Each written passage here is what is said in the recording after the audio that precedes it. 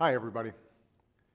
As President and as your Commander in Chief, Tuesday morning, and more than 800,000 federal government employees have been told to stay at home. unfortunately, Congress has not fulfilled its responsibility. It's failed to pass a budget, and as a result, much of our government must now shut down until Congress funds it again.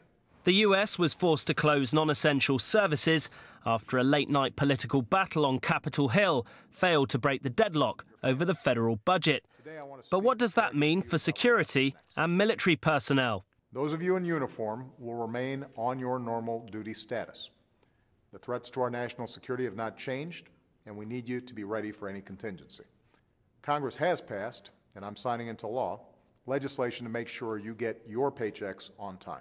The shutdown's also hitting normal Americans like these tourists at Gettysburg National Park. When you plan a vacation for six to nine to 12 months and you come uh, to the location that you want to visit and uh, you can't visit it, it's, you know, it's, it's, uh, it's, it's, it's upsetting. I mean, this is to how many people died for this cause.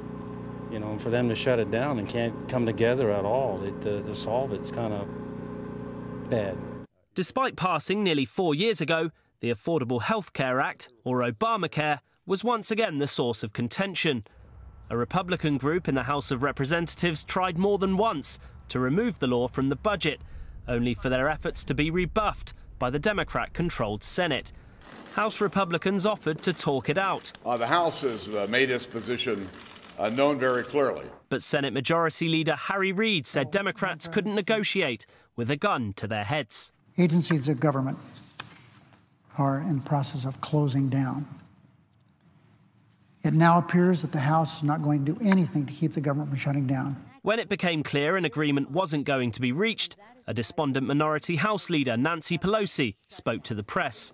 I'd like to say good evening, but it isn't a very good one.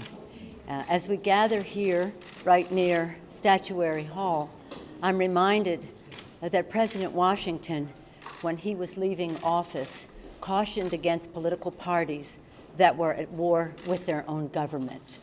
And here we are tonight. God bless you and your families, and God bless the United States of America. Obamacare could define President Obama's legacy. It's due to come into full effect next year, helping people who have never been able to afford health insurance afford it for the first time. But for a number of different reasons, including tax issues, not everyone supports it. Political wrangling between Democrats and Republicans, therefore, looks set to continue.